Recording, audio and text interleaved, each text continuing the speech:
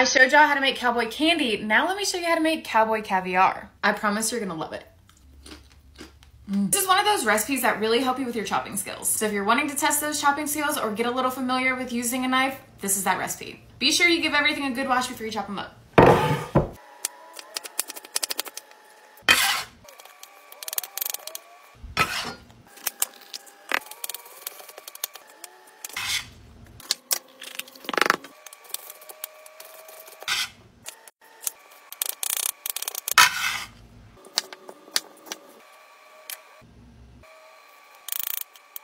Mise en place. I get so many comments literally yelling at me for the amount of dishes that I use. It's just way easier to film. Plus I feel way more organized like this. And three, I'm the one who does the dishes. I don't even have a dishwasher and I wash them all by hand. And if I don't have an issue with it, I don't know why y'all do. You're not the one washing them.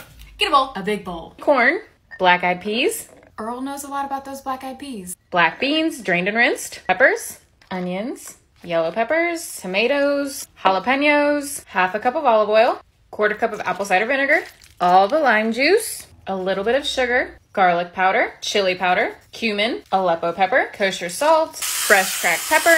Now we give everything a really good mix.